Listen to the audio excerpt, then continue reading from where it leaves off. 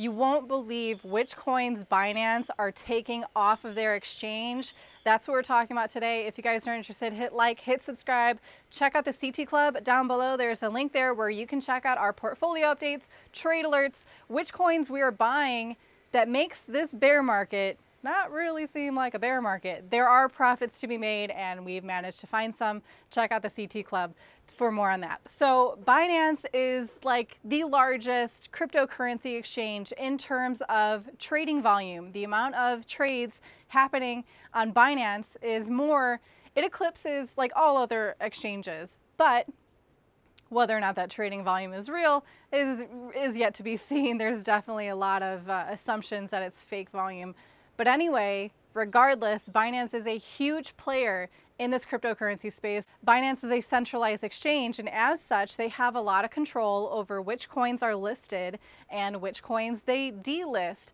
Most of the time, exchanges like Binance or any centralized exchange choose to delist coins because their trading volume is very low. They're just not generating profit or whatever. There's maybe other problems with the project in question. But Binance is converting all balances of USDC, USDP, and TUSD. So USD coin from Circle, USDC, a very popular one. Uh, TUSD is True USD, and USDP is Paxos Dollar. All three of these stable coins that are currently available to deposit, withdrawal, and trade on Binance at the time of uh, uh, after September 29th, so September 29th is the day this is all going to happen. If you have a balance of any of those stable coins, they will be converted into BUSD, which is Binance's specifically stable coin. Also, if you're trading USDC, TUSD, USDP on Binance, you won't be able to trade those anymore against uh, uh, Bitcoin, Ethereum, Cardano, Atom, Link, a lot of different altcoins you're not going to be able to be trading these coins on. And so what they're doing is they're consolidating all of the stable coin transactions and, and trading volume into BUSD. They're trying to pump up their own stable coin. Centralized exchange, they have the power to do it. It's going about as well, it's going over about as well as a lead balloon. Uh, to all the people on Twitter after they made this announcement. Uh, also, one thing to note is they aren't touching USDT, Tether. I believe you will still be able to deposit, withdrawal, trade Tether on Binance. But here's the thing is uh, after September 29th, I believe you will still be able to deposit USDC, TUSD, and USDP onto Binance but again, once you do so, it's going to be automatically converted into BUSD for your trades.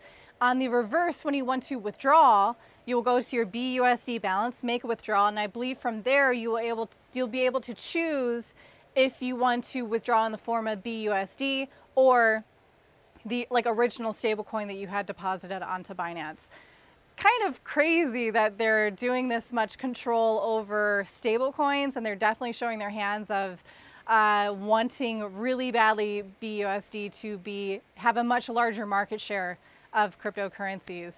Uh, not exactly the most inspiring thing to be seeing play out in this decentralized cryptocurrency space. Uh, Binance has a history of throwing their centralized weight around. Uh, in what year was it? 2017, I believe it was 2018 maybe.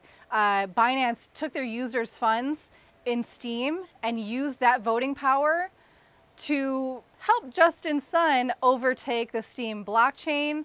Also, what happened was Binance purchased CoinMarketCap.com, a very popular website where people check out the status, the status of a lot of different cryptocurrencies. And immediately after that acquisition, a lot of the data on CoinMarketCap suddenly changed to favor Binance. So this is just another, you know, uh, behavior pattern from Binance for those of you who are paying attention. Anyway, keep an eye out for that. Don't be shocked if your USDC balance is suddenly gone on Binance and you now just have BUSD. You will be able to withdraw in the form of USDC if you want to in the future, but you can't trade it on Binance anymore. All right, that's it. Thanks guys. Hit like, hit subscribe. I'll see you later.